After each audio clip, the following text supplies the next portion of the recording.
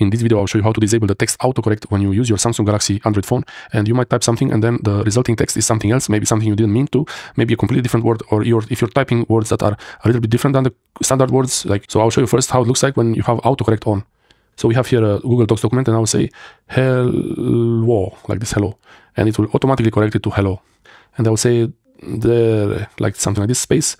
And you see already I was trying to say there, but he didn't even get the context, so I'll, try it again. Like this. Okay, this one got it right. So if you want this, it's okay to have it. But if you don't want it, I will show you how to disable it.